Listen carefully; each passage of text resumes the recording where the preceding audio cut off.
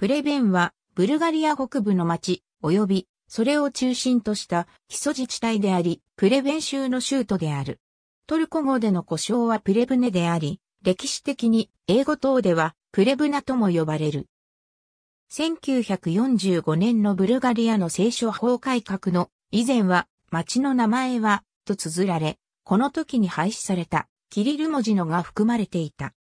ロト戦争の重要な包囲戦であった1877年のプレベン包囲で知られ、今日では、ブルガリア北中部及び北西部の経済の拠点として、同地域でバルナ及びルセに次ぐ人口を持っている。プレベンは、歴史的には、モエシアと呼ばれる地方に含まれ、農耕地帯であるドナウ平原の中心にあり、石灰岩の丘陵地帯プレベン丘陵に囲まれている。プレベンは、ブルガリア北部の中央にあり、政治、経済、行政、文化、運輸の拠点として重要な位置にある。ブルガリアの首都ソフィアからは 170km、黒海岸からは西に 320km、ドナウ川からは南に 50km に位置している。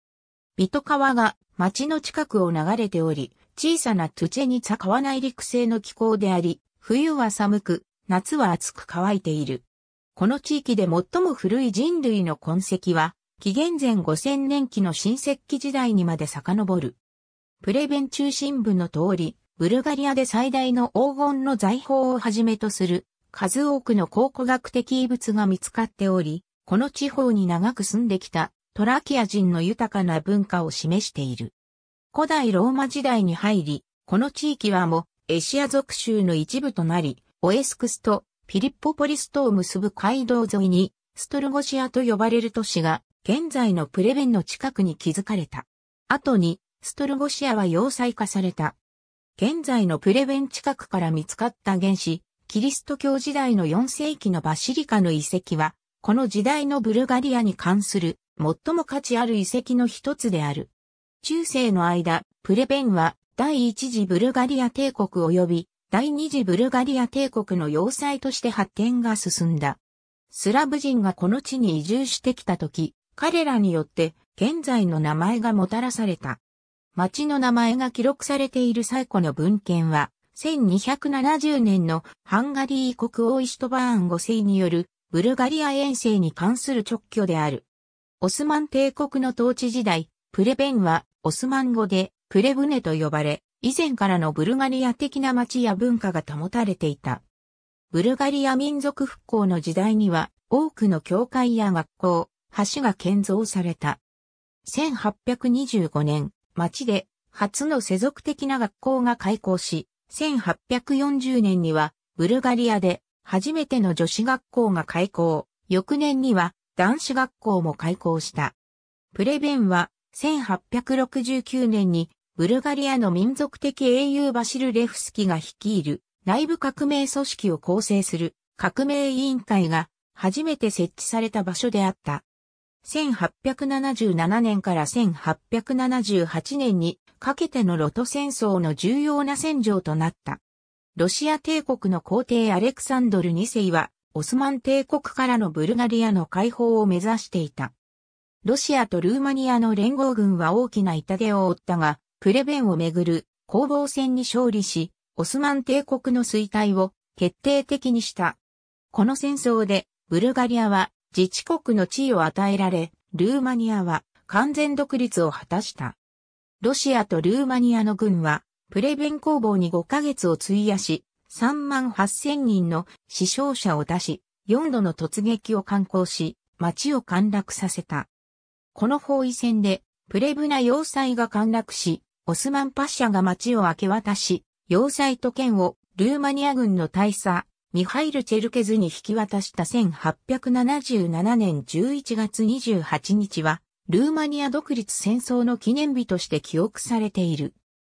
1911年のブリタニカ百科辞典第11版は、プレベンに関する長大な記事を次のようにまとめている。ロト戦争での出来事は、プレベンのブルガリア中北部での中核都市としての開発の重要性を示した。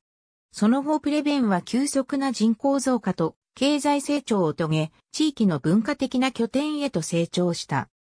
戦艦機の主力政党であった農民政党のブルガリア人民農民同盟は1899年にこの地で結成された。プレベン市役所統計によると、プレベンの人口はおよそ13万7千人である。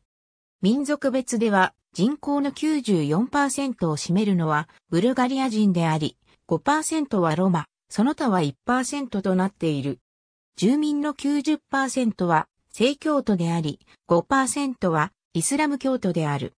ブルガリアに2つあるカトリック教会の教区のうちの一つ、ニコポルシ教区は、プレベンを干渉しており、残りの5%の住民は、カトリック教徒である。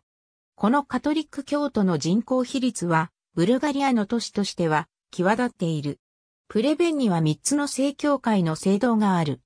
ブルガリア民族復興様式の聖ニコライ聖堂は、第二次ブルガリア帝国時代の礼拝堂の場所に建てられた。イタリ生産者聖堂はアンティム一世によって正規をされ、この聖堂のある場所には1523年には聖堂の存在が知られていた。この他に町には聖パラスケバ聖堂がある。2005年の時点で新しい聖教会の聖堂がストロゴジア広場に建造中である。ローマカトリック教会の巨大なファティマの聖母聖堂は2001年に建造が始まった。また、町のイスラム教徒の住民のためのモスクもある。メソジスト教会の礼拝堂もある。石油生成、機械製造、軽工業、食品産業は社会主義時代の主要産業であり、1989年の民主化以降、プレベンは経済危機に陥った。プラマ石油生成所などの多くの産業設備は閉鎖されるか操業を停止した。しかし、1990年代末から2000年代にかけて軽工業が再興され、既製服の製造が発展した。観光業に関して社会主義時代はソビエト連邦から多くの観光客を呼び寄せたが、1989年以降は低迷を続けた。その後再び観光産業も再興されていった。その他の産業に関しても2000年代に入ってから復興が進められた。失業率は2000年には17%であったが、2005年には7.5%にまで低下した。1990年代末から2000年代にかけて国外から多くの投資が呼び込まれた。とりわけ、ビラが2店舗、プラクテッカーが1店舗できたほか、複数の大型家電量販店が開業するなど、ハイパーマーケットが急増した。2005年の時点でプレベンへの外国資本の投資額はおよそ2億5千万レバと見積もられる。ソフィアとブカレスト、モスクワを結ぶ国際列車がプレベンを通過している。欧州自動車道路 E85 号線は街の北を通過している。ソフィアからバルナまでブルガリアを東西に結ぶヘムス高速道路は街の16キロ南を通過する計画である。プレベンの市内交通の基幹を担うのはトロリーバスである。トロリーバスは147路線、総延長 75km に上り、さらに2つのバス路線がある。トロリーバスの車両は1985年から1988年に製造された GU-682 が70台となっている。さらに 12km のトロリーバス路線延長が計画されており、プレベン自治体は2009年の開業予定を発表している。プレベン近郊では中波と短波を発信する大規模な電波塔がある。プレベンの中波送信機は 594kHz で運用されており、地面から絶縁された地上250メートルの2本の視線付けマストアンテナを使用している。プレベンの歴史的な見どころの多くはロット戦争に関係するものである。戦争に関連する記念碑は200近くある。その中には、ストリート、ジョージ・ザ・コンカラー・チャペル・モーソリアムがあり、プレベン包囲で死亡したロシアやルーマニアの兵士のために捧げられた。また、スコベレフ公園には納骨堂がある。この他では、プレベン展望台は、プレベン包囲の記念日に開設された。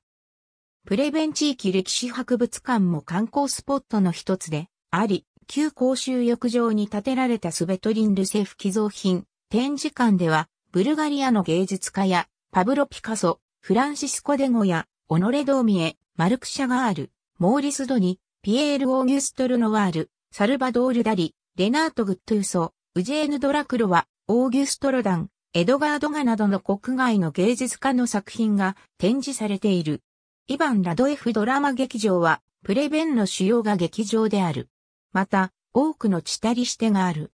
プレベンはブルガリアにおけるスポーツの拠点の一つとなっており、テレザ・マリノバやグルビン・ボエフスキをはじめ、多くのスポーツ選手がプレベンで生まれ、あるいは練習を重ねてきた。プレベンの体育学校は、ブルガリアで最も巧妙な体育学校の一つである。町には二つのサッカークラブがあり、PFK、スパルタクプレベンと PFK ビリトオルリプレベンは、それぞれ独自の競技場を持っている。両チームとも、ブルガリアの2部リーグに属しており、過去に大きな成功を収めたことはないが、スパルタクはプラメンゲトフなどのサッカーブルガリア代表選手も輩出している。スパルタクプレベンの名を持つバスケットボールチームもあり、1995年には全国選手権、1996年には全国杯で優勝している。チームは一部リーグの常連である。プレベンはカイルカ及びスコベレフ公園が有名である。校舎にはプレベン展望台があり、この場所はロト戦争中の戦場跡である。2000年代の集合住宅街の中心近くの道路交通プレベン基礎自治体にはその中心であるプレベンをはじめとする以下の町村が存在している。2009年7月30日閲覧。ありがとうございます。